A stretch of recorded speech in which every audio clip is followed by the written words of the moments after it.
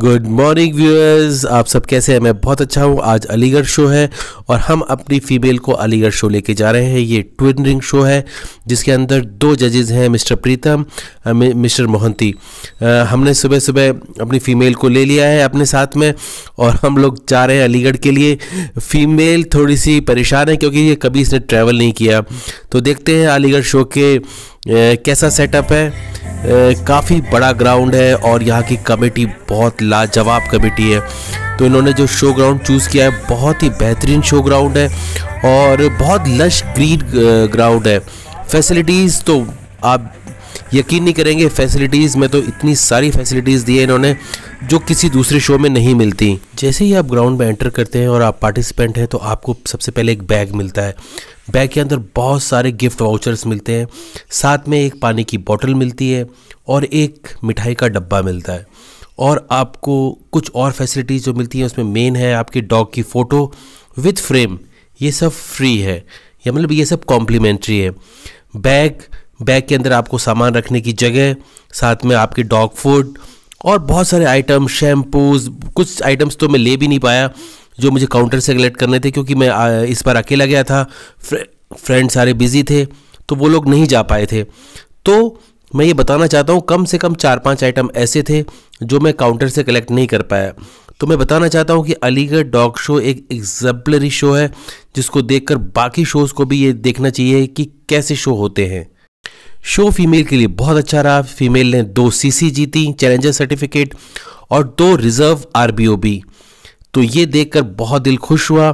Female को हमने आने के बाद में फिर से एक बार स्टैक किया घर पर और उसको मतलब थका, थकी हुई होने के बावजूद भी फीमेल ठीक स्ट्रेस और खड़ी हो रही थी। थोड़ा सा मतलब थकने की वजह से वो मतलब बॉडी स्ट्रेच नहीं कर पा रही थी। लेकिन फिर भी मैंने कोशिश की आने के बाद में फिर से एक बार उसको स्टैक करूँ, क्योंकि आने वाले शो में अभी करीबन दो हफ़्ते बाकी हैं। उस शो के अंदर हमें पार्टिसिपेट करना है। तो देखते हैं आगे चल के ये कैसा और करती है। मेन प्रॉब्लम जो आई, इसके साथ में सोशलाइजेशन की आई, इसने वहाँ जाकर बाकी डॉग्स को देखकर बहुत अच्छा मतलब एक्शन नहीं लिया।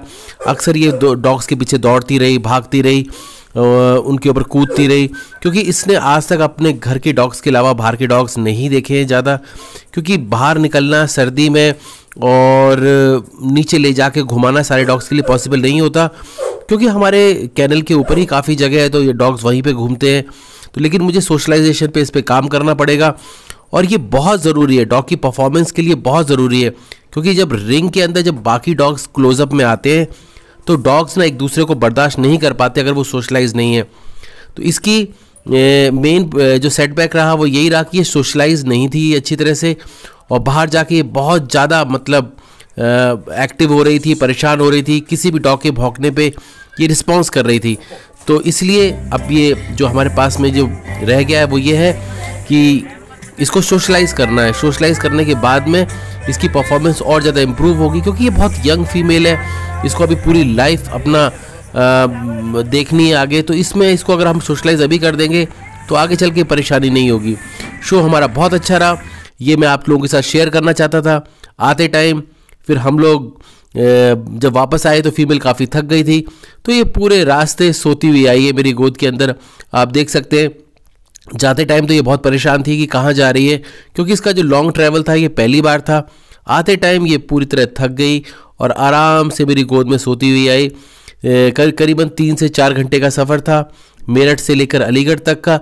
तो इसने आराम से पूरा सफ़र काटा आते टाइम मौसम भी ठंडा हो चला था और हमें घर भी पहुँचना था जल्दी। नहीं तो होता ये है कि घर आते आते काफ़ी फॉग हो जाती है सर्दियों में ये दिक्कत बहुत ज़्यादा होती है। तो हमने शो ख़त्म होते ही, अपना रिंग ख़त्म होते ही हमने वहाँ से चलना शुरू कर दिया। और, हमारा ये था कि हम अपने घर टाइम रहते पहुँच जाए। नहीं तो क्या होता है कि फॉग ज़्यादा हो जाने की वजह से इवनिंग ट्रैफ़िक में हम फंस जाते हैं। तो हमने वहाँ से चले और आते आते हम लोगों को करीबन आठ, साढ़े आठ बज गए। और शो ख़त्म हुआ, काफ़ी हैक्टिक शो था। करीबन ट्रैवल ही करीबन सात और आठ घंटे का ट्रैवल था आने जाना एक ही दिन के अंदर, वो भी डे लाइट के अंदर, काफ़ी हेक्टिक होता है डॉग्स के लिए भी और ह्यूमंस के लिए भी। ट्रैवल जो होता है, वो इतना लंबा करना आसान नहीं हो पाता शॉर्ट टाइम में। तो डॉग के लिए ज़्यादा रहता है। तो बहुत अच्छा शो रहा, बहुत अच्छा एक्सपीरियंस रहा, पहला शो था और इसमें विनिंग भी की, साथ में चैलेंजर सर्टिफिकेट्स भी जीते। मैं बहुत खुश हूँ इसकी परफॉर्मेंस से। लेकिन कुछ जो प्रॉब्लम्स आई, उसको हम आगे देखेंगे सोशलाइजेशन की प्रॉब्लम तो थोड़ा ठंड है तो अभी इसमें अभी थोड़ा सा काम करना मुश्किल होगा, बाहर ले जाना। लेकिन हाँ हम कोशिश करेंगे कि इसको बाहर ले जाएँ और इसको सोशलाइज कराएँ। और जो प्रॉब्लम हमें इस बार शो में आई, वो अगली बार शो में ना आए।